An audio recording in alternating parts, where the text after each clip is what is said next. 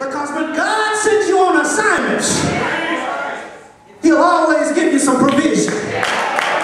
Some of you are not willing to step out on faith because you can't figure out how you're going to work it out.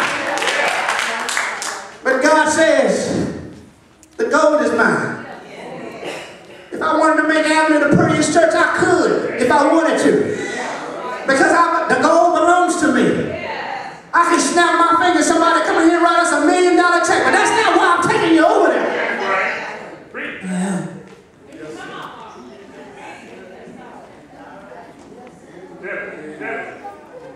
We need finances, don't get me wrong.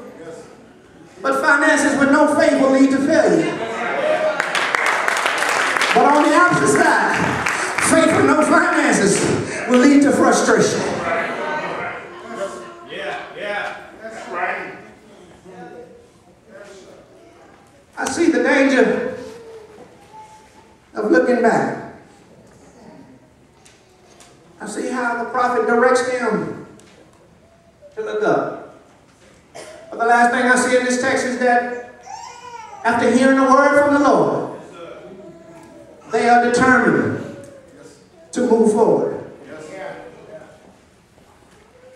God gives him a prediction. He says, after a while, I'm going to shake some things up. Many commentaries argue on the point, is he talking about in the millennium? Is he talking about in the New Testament period? When, when is he going to shake it? But I, I don't know. I don't get into the arguments of when.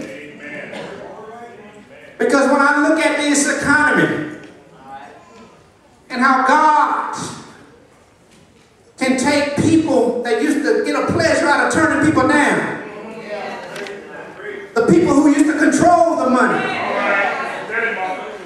now they don't have any money. When they wouldn't loan you anything, now they got their hand out looking for a loan.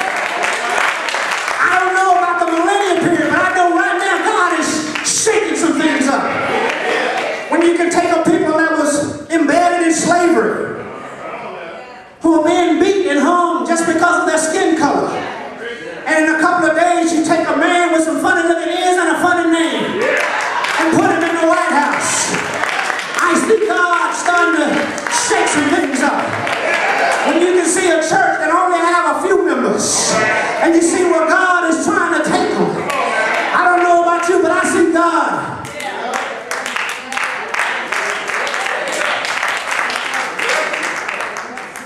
He's shaking some things up. Some of you, you got your bags packed. You ready to jump off the ship. You've become disgruntled. You've become disappointed. You've become dismayed. But I heard one songwriter says, be not dismayed. Whatever betides. Avenue won't do it, but, but, but God says, I will. Make a way. Somehow. The good news about this text is that when God tells you that he's going to do some shaking, he tells us that don't worry about it. I'm going to give you some peace. Preacher, are you saying that just moving to a new location? Uh, are we not going to have church conflict? You saying that just moving to another location, we're not going to have any more sickness in the church? Or are you saying that when we go to a new location, we're going to get out before 1230?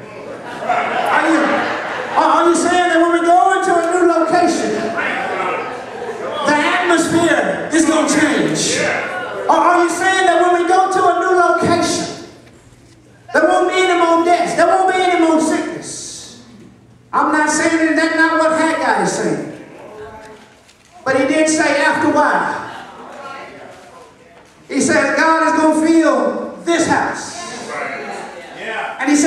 getting ready to fill it with. They didn't compare to what you used to.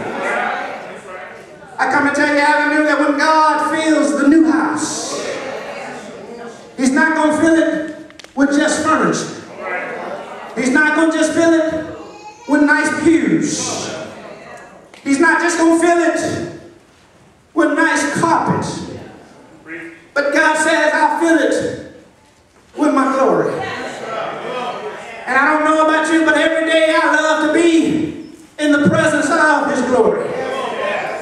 Because when you're walking in the presence of His glory, they can scandalize your name.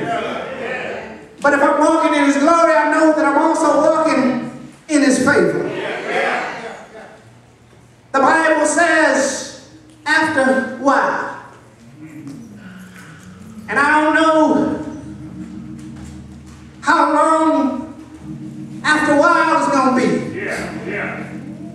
Because the Bible tells me that a day with him is like a thousand years. So I don't know if the after while is going to come on February 1st. But the Bible tells me that at one time he's going to do some serious shaking. And the Bible says that when we leave this house, those of us who have walked upright, those of us who have kept the faith, we got another house that's not located at 901 West 70th. All right. We got another house where there won't be no more sickness. Anybody ever heard about that new house? Where there won't be no more tears. I'm talking about a new house where